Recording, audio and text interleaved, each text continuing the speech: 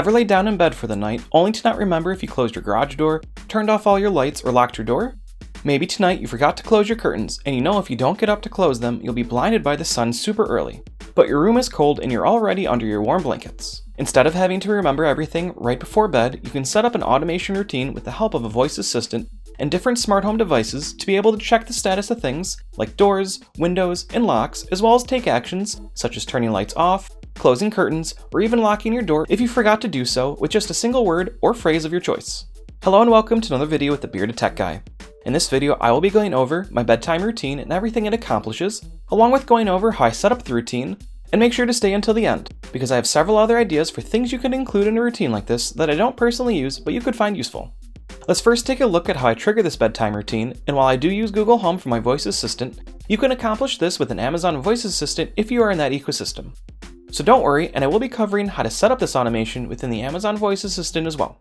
For me, I say it's time for bed to my nightstand Google Home, which will trigger a few different things to happen. It's time for bed. The first action that occurs is that my Google speakers set its volume to 40% just in case it was raised earlier in the day, to not be too startling. Next, the fan is turned on for 30 minutes. Then, Google will turn off several lights that I know don't need to be on and have a chance of being left on. This also comes in handy if I'm heading to bed with my hands full and not able to turn off lights as I leave a room. The next few actions involve telling me tomorrow's weather, if there are any home reminders, and telling me my first calendar event for the next day. It'll be partly cloudy with a high of 17 and a low of 10. First up tomorrow, you have Be Awesome at 8 p.m. This is handy as the seventh action is being asked what time to set an alarm for, which with the knowledge of how my morning is going to look, I can easily do. What time should I set the alarm for? 8 a.m. Tomorrow at 8 a.m. Set. Next up is three more actions that will let me know with a verbal confirmation if any doors or windows have been left open, and if any doors are unlocked. The backyard door, the basement door, and the garage door are closed. The office window is open. The custom is unlocked. Afterwards, if any doors were left unlocked, Google will then lock them for me.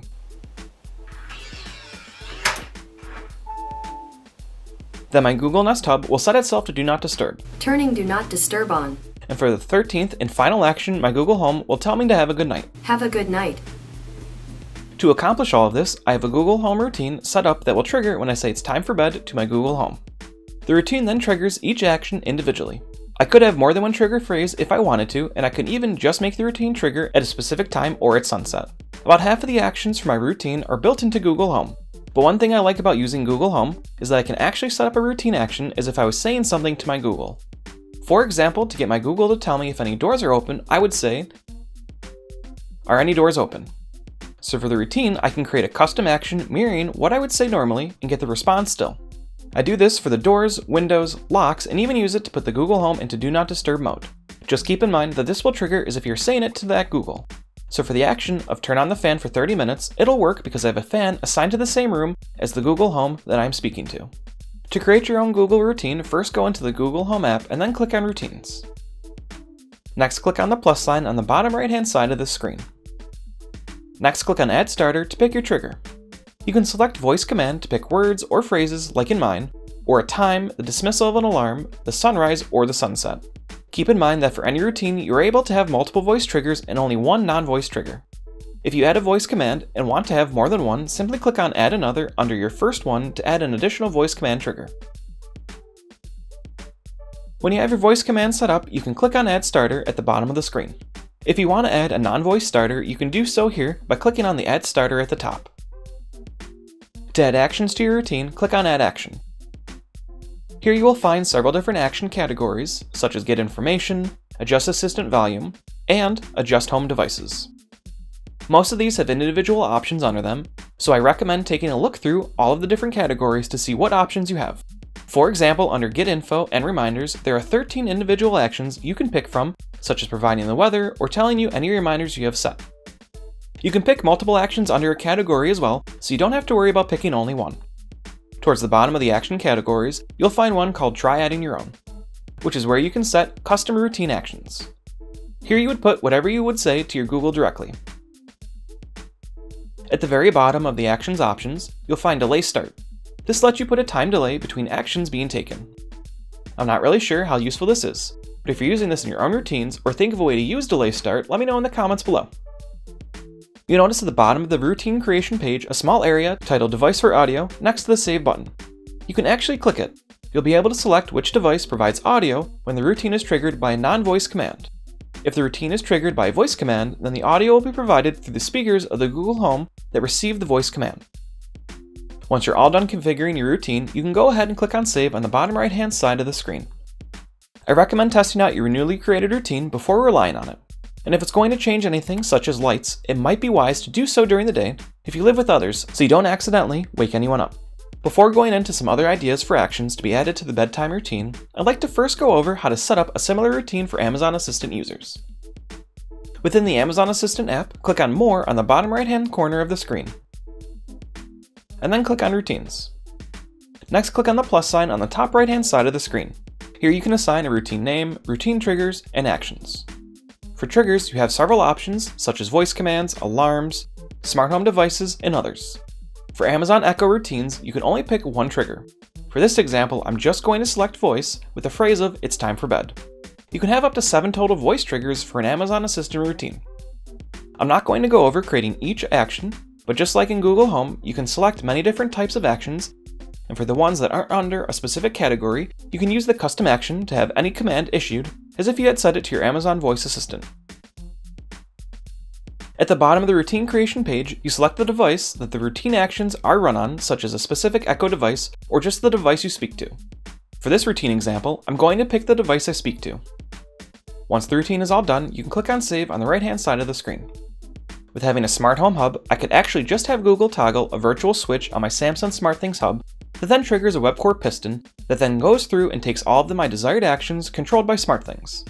You could also accomplish something similar with Hubitat or Home Assistant. But for this, and because I like having the audio response to occur on the Google I'm interacting with, it's much easier to just have the routine on Google Home. If you set up your routine to turn Do Not Disturb on, then you want to make sure that you turn it off the next day. Otherwise, you may miss notifications such as someone at your door. An easy way around this is to have a morning routine set up that does a bunch of things, but also includes turning Do Not Disturb off, which is exactly what I do. Good morning. For me, my good morning routine tells me my first calendar appointment, reminds me of any reminders I have, tells me the weather for the day. Currently, it's 9 degrees and mostly cloudy. Tonight, the forecast is around 7 and cloudy. Tells me my commute to work.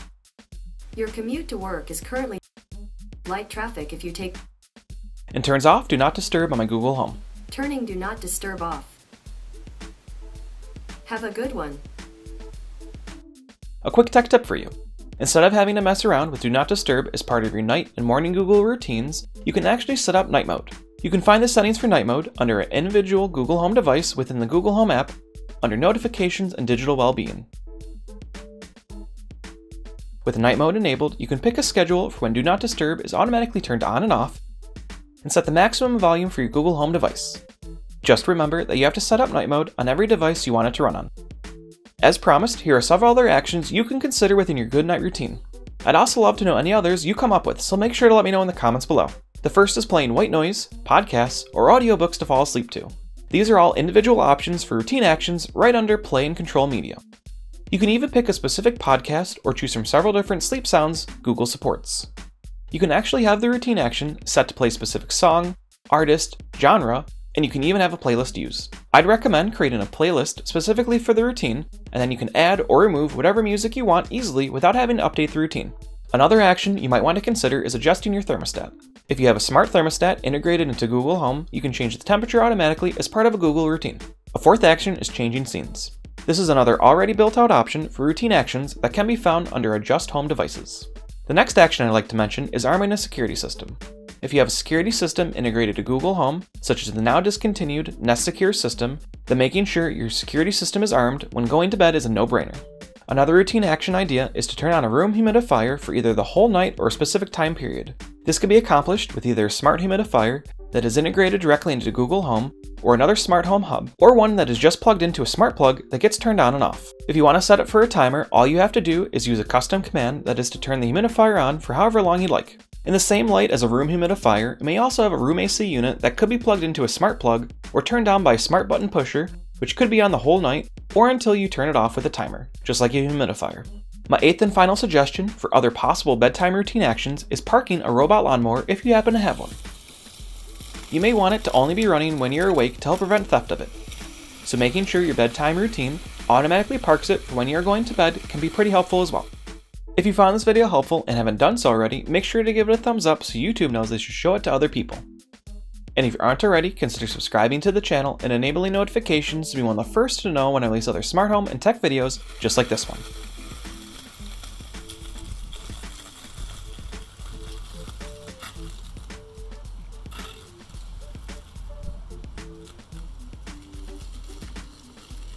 Thank you for watching.